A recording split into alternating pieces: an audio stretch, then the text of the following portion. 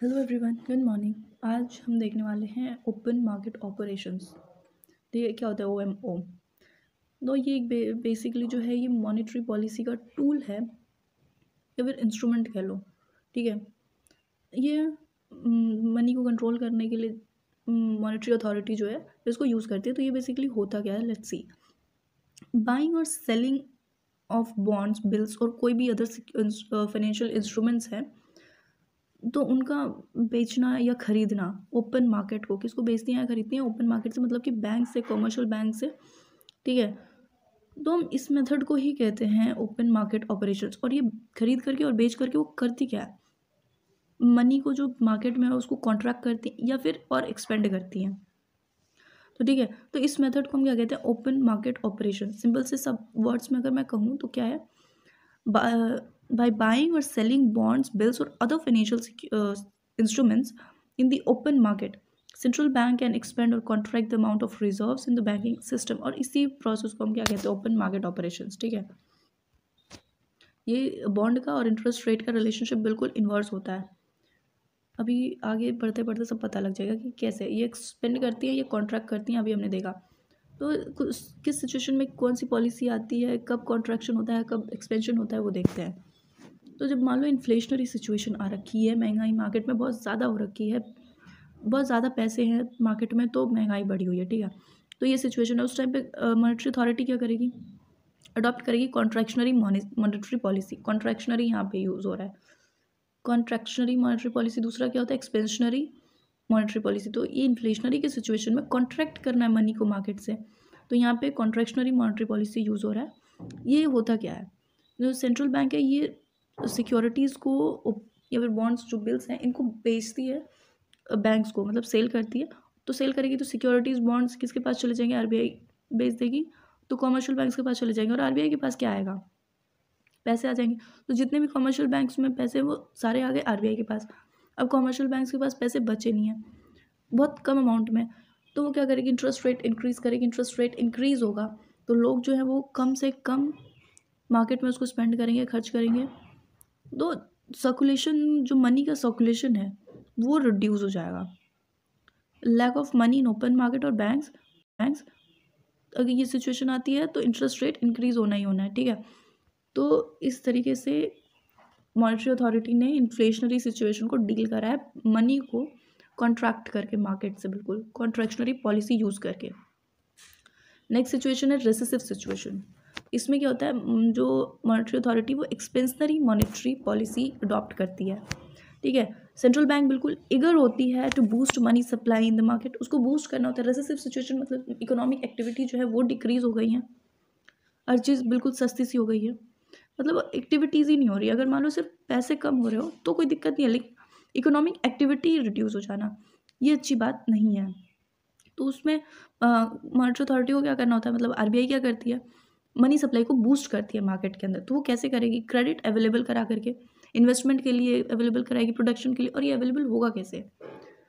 तो जब ये बाई करेगी सिक्योरिटीज़, ये बिल्स, बॉन्ड्स, जो भी to increase money supply in the market ठीक है, बात समझ आई?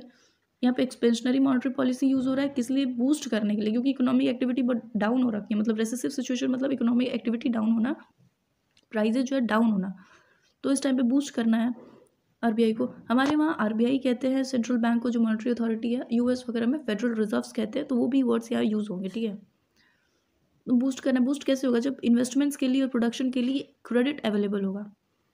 तो ये कैसे होगा? जब जो मॉनिटरी अथॉरिटी है, वो सिक्योरिटीज़ बाई करेगी to increase the money supply buy करा तो सिक्योरिटीज़ बॉन्ड्स किसके पास आ गए? आरबीआई के पास आ गए, पैसे किसके पास चले गए? कॉमर्शियल बैंक्स के पास चले गए। तो अब वो इंटरेस्ट रेट्स क्या करेंगे? कम कर देंगे बिल्कुल। ठीक है? अगर कोई लेंड कर रहा है मतलब सॉरी कोई अगर बोरो कर रहा है तो उस पर इंटरेस्ट रेट बहुत कम है। और इंटरेस्ट रेट कम है, लोग ज़्यादा से ज़्यादा बोरो करेंगे। तो मार्केट में वापस से सर्कुलेशन आएगा। आप बोरो कर रहे हैं तो कहीं ना कहीं यूज़ तो करेंगे करेंगे। तो कैपिटल गुड्स वगैरह लेने के लिए यूज़ करते हैं इन्वेस्टमेंट्स करने के लिए यूज़ करते हैं तो इन्वेस्टमेंट्स होंगे तो मार्केट में पैसे बढ़ेंगे इकोनॉमिक एक्टिविटीज़ बढ़ेंगी। ठीक है? र, र, जो रिड्यू मतलब जो रेट है इंटरेस्ट रेट वो रिड्यूस हो ही रखा है। ठीक है? तो ऐसे मार्केट में पैसे आएँगे। तो ये बात समझ आई? दो कॉन्ट्रैक्शनरी पॉलिसी और एक्सपेंशनरी पॉलिसी दो यूज़ कर रही है मॉनिटरी अथॉरिटी मनी को कंट्रोल करने के लिए मार्केट में। इसके एप्लीकेशंस देखते हैं ये तो दो हो ही गए। इसके जो एप्लीकेशन इसके जो एप्लीकेशन है overall purpose of changing rate is to either speed up economic growth को स्पीड अप करना होता है या फिर स्लो डाउन करना होता है। एक ही डायरेक्शन में सिर्फ़ स्पीड अप स्पीड अप होने लगेगा तो बूम की कंडीशन आएगी और फिर ये हेल्दी इकोनॉमी का वो नहीं है साइन नहीं है। हेल्दी इकोनॉमी नहीं रहेगी। तो मॉनिटरी अथॉरिटी को क्या करना होता है? हेल्दी इकोनॉमी रखना होता है। उसकी ग्रोथ हो, ऐसा रखना होता है। ठीक है? तो जो रैपिड इकोनॉमिक ग्रोथ होगी, वो इन्फ्लेशन क्रिएट करेगी। ठीक है तो इन्फ्लेशन को कंट्रोल करना इसका मॉनिटरी अथॉरिटी का प्राइमरी गोल है, ठीक है? मान लो कि target rate is about two percent इनका टारगेट रेट है टू परसेंट अगर टू परसेंट से ज़्यादा महँगाई बढ़ रही है तो उसको कंट्रोल करना है।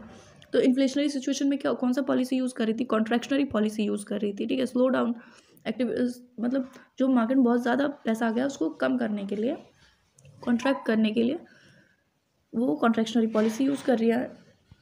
और नेक्स्ट अगर यूज़ देखें तो फेडरल रिजर्व्स या फिर हमारे वहाँ पे जो आर बी आई है want to make sure the economy is always growing वो हमेशा ग्रो करती रहे। या कोई भी है तो वो चाहते हैं ना कि हमारे पैसे सिर्फ़ ग्रो करते रहे। कौन चाहते हैं कि हमारे पैसे कम हो जाए?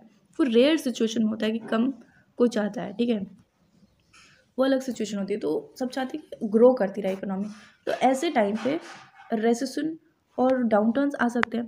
तो economy might need to be need a bit of help तो इस केस में क्या होगा? सेंट्रल बैंक यूज़ करेगी अपना open market operation to move things along उसके साथ मतलब जिस तरीके से जो सिचुएशन है, उसके अकॉर्डिंग चीज़ें करेगी।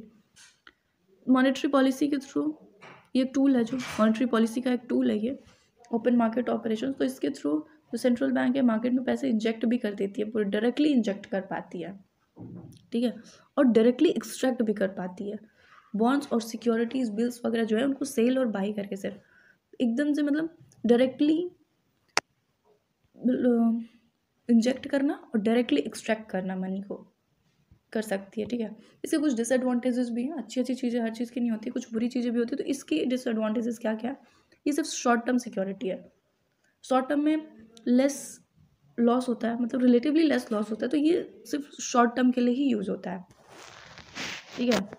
ड्यू टू इकोनॉमिक और पॉलिटिकल अनसर्टेनिटी इकोनॉमिक और पॉलिटिकल अनसर्टेनिटी की वजह से ये बोरोवर्स को अट्रैक्ट नहीं कर पाती है। इंटरेस्ट रेट बिल्कुल कम हो जाने के बाद भी ये बोरोवर्स को अट्रैक्ट नहीं आती है उतना, ठीक है? Conversely one trade is going good and prospects of profit pride entrepreneurs would borrow even at high rates of interest काफ़ी बारी जो आंट्रप्रनोर्स वगैरह होते हैं हाई रेट ऑफ़ इंटरेस्ट है तो भी बोरो करते हैं। तो उसमें हमने अभी क्या पढ़ा कि जब इंटरेस्ट रेट लो वो इंटरेस्ट रेट बढ़ाती इसलिए कि लोग बोरो ना करें। लेकिन उस सिचुएशन में भी आंट्रप्रनर्स वगैरह या फिर कुछ लोग होते हैं जो कि बोरो करते हैं तो ये अच्छी बात नहीं है। नेक्स्ट है मतलब इतना ईजी नहीं होता हर चीज़। जो कमर्शियल बैंक है policy of credit contraction is easier उनके लिए कॉन्ट्रैक्ट करना ना ईजी है, लेकिन एक्सपेंड करना इतना ईजी नहीं है। कॉन्ट्रैक्ट मतलब इन्फ्लेशनरी सिचुएशन है तो मार्केट से पैसे खींचना ईजी है। मतलब कि उनको बेचा और उनसे सारे पैसे ले लिए। आरबीआई ने सेंट्रल सॉरी कमर्शियल बैंक्स को पैसे बॉन्ड्स वगैरह दिए और पैसे उनसे ले लिए। ये इजी है। और कमर्शियल बैंक्स के लिए भी इजी है कि वो खरीद लें और इंटरेस्ट रेट हाई कर दें। लेकिन इंटरेस्ट रेट लो करना मतलब कि एक्सपेंसनरी पॉलिसी जो इतना ईजी नहीं होता है। ठीक है? तो जो ओपन मार्केट ऑपरेशन है कैन स्टॉप बूम बूम को तो स्टॉप कर सकती है बट कांट प्रिवेंट स्लम्स अगर इकोनॉमिक एक्टिविटी बिल्कुल स्लो डाउन हो गई हैं तो उसको कंट्रोल करना बहुत मुश्किल होता है। ठीक है? तो इसके कुछ डिसएडवांटेजेस रहे एडवांटेजेस रहे, ये सारी चीज़ें हमने पढ़ ली। होप की चीज़ें समझ आई होंगी, नहीं आई होंगी तो कमेंट बॉक्स में पूछ लेना। Thank you have nice day bye